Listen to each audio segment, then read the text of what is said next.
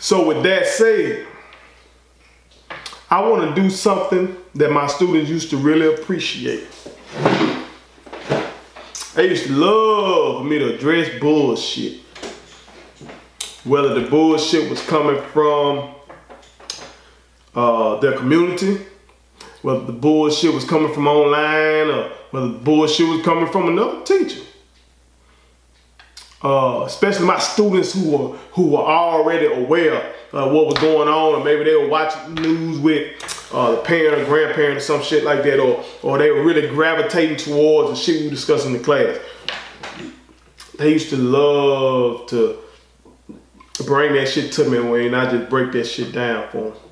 So let's clear up some bullshit right now. Some of these bullshit arguments that motherfuckers are throwing at the movement right now. Let's take this one.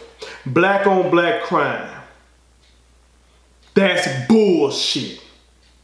First of all, people harm who they are around.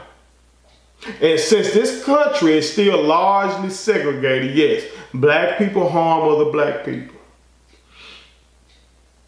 Secondly, most of the violence in our communities is uh, talking to black community. Most of the uh, the violence in our black communities uh, stems from poverty, which is a legacy of slavery and Jim Crow. Study after study fucking shows that. That ain't just me talking. Everybody out there, you should go watch the Racial Wealth Gap Explained. It's on YouTube and it's on Netflix. It's only 16 minutes long. It is must watch. You must watch it. If I was still in the classroom, I guarantee I would show it every single year because it shows the plight of black people in this country where you can be absolutely elite and you still be behind a, a, a white person who's not elite. You can be busting your motherfucking ass and be uh, uh, uh, have three degrees and working your ass off and more or less a motherfucker, and then this average ass son bitch still got more money than you. That's the plight we face. So a lot of the shit, the violence that you might see on the news, a lot of that shit is gang related and drug related because these motherfuckers dead broke out here and they turn to that shit. And that's what it is. But if you really want to talk about some goddamn uh, violence, you gotta turn to World War One and World War Two. Where millions of people, including civilians, killed. Why? Because in World War One, a motherfucker by the name of uh, uh, Francis Ferdinand get popped in a country where the motherfuckers didn't like him because they didn't want to be colonized by his people. So we gotta have a world war behind that shit. Where millions of people die. And you gotta send motherfuckers over here to make the world safe for democracy. Bullshit. Oh, let's try World War II. So millions of motherfuckers gotta die cause this bitch with a funny mustache decide he wanna take over the fucking world. Oh, we got a land dispute? That sound like some gang shit to me. That sound like the, the Bloods and the Crip or the goddamn uh, Vice Lords and the G goddamn uh, uh, beefing and shooting each other over who block this is. So we got to die behind this motherfucker millions? Or because uh, Japan and the United States could not uh, uh, uh, really come to terms on who's to dominate the Pacific? Like either one of them need to dominate that motherfucker anyway? So millions gotta die behind it. Let's quit bullshit. See, violence on behalf of the gov government is okay. To kill on behalf of the government is appreciated, rewarded, um, celebrated even.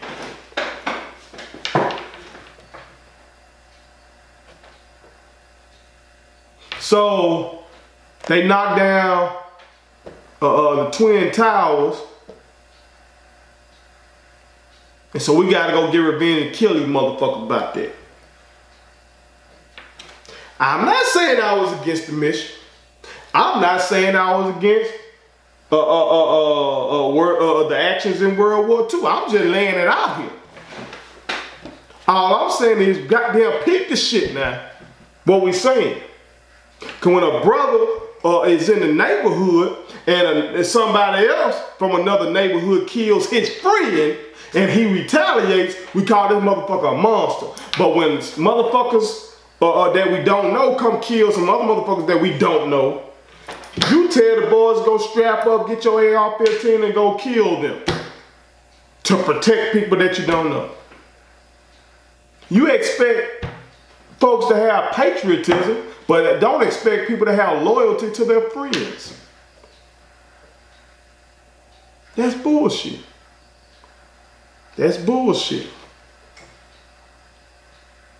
But on that same note, I saw a motherfucker say black lives uh, don't matter when it's black people killing black people. Black lives only matter when it's white people killing black people. Do you motherfuckers? I need to stop. I'm not talking to them motherfuckers. A wise man told me don't argue with fools. People from a distance can't tell who is who. So I'm talking to my youngins and I'm talking to my allies. So I apologize. If they hit you with this bullshit, you make sure you remind them that black people grieve as well when a life is taken at the hands of another black person. We grieve for them as well. Those who oppose us might not notice that because that shit don't matter to them. To them, it may just be the uh, uh another nigga dead, the niggas killing each other again. But we mourn for them as well. We address that shit as well. We address that shit in our schools. How many fights I've broken up in my career? Know many times I told these young brothers to stop goddamn beefing and shit over bullshit? Know many times I told these young sisters don't be online uh, uh, uh, uh, arguing back and forth and adding each other like Trump? We address this shit. We address it. We try to steer our kids away from gangs. We try to steer our kids away from selling drugs and from uh, uh, uh, using drugs. We ain't just uh, uh, uh, uh, bitching about police brutality and then not saying nothing about the own ills of our community. Shit, in my uh, uh, hometown of Canton, they had a, a, a, a Stop the Violence march. When one of my former students allegedly killed a little baby, I spoke at a, an event about us doing something about violence in our communities. None of our opposers were there. You didn't pay attention to that shit. You only pay attention when we complain about the police because you want to uphold what the police are doing. Quit using this shit against us. Quit using it. We address that shit amongst ourselves. Go listen to a Malcolm X speech. Malcolm X, yeah, you, he get down on a white man what he done, but shit, he be fussing at the black folks equally. We address ourselves. Our allies. I ain't talking to the fuck boy. They ain't gonna do it. But our allies. Make sure you are addressing the ills of your community as well. Make sure you're taking the lead in your schools and in your churches as well, in your synagogues. Just like we do. We check each other. I promise you we do. In our schools, in our churches, in our mosques, and online. But our allies, you gotta address y'all's your your uh, uh, your problems when it comes to white supremacy. You gotta address that shit in your schools. When your schools uh, uh, building up George Washington and shit, if they're gonna talk about him being so courageous in the Revolutionary War, they also need to point out that he was a goddamn slave owner. When they talk about Thomas Jefferson writing about uh, uh, how all men are created equal and shit, they need to also point out he's a motherfucking slave owner. They need to point to just tell the fucking truth. Tell the truth. When they talk about Andrew Jackson, talk about how he was the first common man type president, and he also tell how he, he signed the Indian Removal Act. And he tell the fucking truth. Tell it. Because we have to deal with that shit. Check that shit. Check yourself. Talk to my ally. If you call yourself an ally of black people and you voted for Donald Trump, then you also voted for white supremacy. And I don't I don't say that shit lightly, but it is what it is. Cause that's what the fuck the man stood for. Compared to all those other motherfuckers he was running against. Because what he's doing right now in this moment is not new. The man was a leader in the birther movement. Uh, the motherfucker when he came down that goddamn escalator and announced he was running for president, what made headlines? When he said that uh, Mexico is not sending us their best people. Uh, they're sending uh, thugs and rapists, and I assume some of them are good people. That's what he said. That's what he said. Also during the campaign, he told black people, what do you have to lose? That shit was so insulting. That, that, that statement basically said to black people, you ain't shit, you ain't got shit, so you might as well vote for me. That's what he did. That's what he said. That's basically what he was saying. While he was in office, he called neo-Nazis fine people. Now, I mentioned World War II earlier. And all these so-called patriotic motherfuckers like to bring up World War II and shit when we face down the Nazis and shit. But when this son bitch calls neo-Nazis fine people, that shit was okay. To many. And now, of course, he's quoting a, a segregationist and failed presidents like Richard Nixon with his coded language talking about he's the law and order president. See, Richard Nixon used that bullshit in 1968. No, eh, you still had civil rights movement going on, uh, but it had become more militant. You got the Panthers doing their thing. Uh, you also had uh, uh students out in the streets protesting against uh, uh, the failed Vietnam War. so this motherfucker, Richard Nixon, called himself speaking to uh, the silent majority. You heard Trump try to use that shit as well. Call himself speaking to middle America uh, uh, and that he's the law and order president. What that shit is code for? That I'm going to keep the niggas in line. That's what he's trying to say. That's what he's trying to say. And also, when the when the looting starts, the shooting starts. When the looting starts, the shooting starts. But the most celebrated looters in the history of this country are those motherfuckers who took part in the Boston Tea Party. Every teacher who teaches early American history has to cover that shit. And every history book writes about it like it was one of the most courageous, rebellious acts. But when motherfuckers are outraged and they take to the streets and they do whatever. Because um, they watched a man be lynched by a police officer, a motherfucker who's supposed to serve and protect them. It's when the looting starts, the shooting starts. So I ask our allies, our white allies, If you voted for this man, check yourself, please. Check yourself, please. Don't say you voted for him for the tax cuts. All those motherfucking Republican candidates were offering tax cuts. Don't say you voted for him because he was anti-abortion because out of all the candidates, he might have been the motherfucker that flip-flopped on that shit the most. You can go look it up. He was pro-choice once upon a time. All of them were saying they were going to appoint Supreme Court judges that were anti-Roe v. Wade.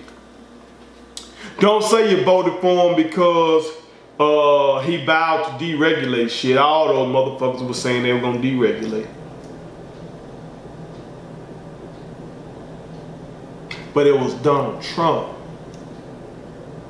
who was the most anti-Obama with the birther shit. It was Donald Trump who was the most anti-Latino by promising to build a wall and make Mexico pay for it. That's what pushed him over the top. So a vote for him was a vote for white supremacy. If you're a white ally of ours, please check yourself. But still on the topic of black on black crime as this argument against uh, our stance on police violence. if I was to go murder another black person on camera, I would go to fucking prison. I'm going to prison. If I go do exactly what that bitch ass cop did on camera, and I did it to uh, another black person, hell if I did it to a Latino, if I did it to an Asian person, definitely if I did it to a white person, I'm going to fucking prison and I live in Mississippi, so I'm getting the fucking death penalty. These cops are getting acquitted if they're arrested and charged. If they're arrested and charged. They're getting acquitted. They're getting away with this shit.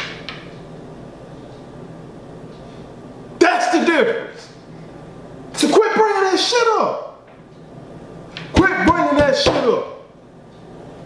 Sometimes there are murders in, that, that happen in our community that go unpunished. Uh, but you know what? They chop that up to.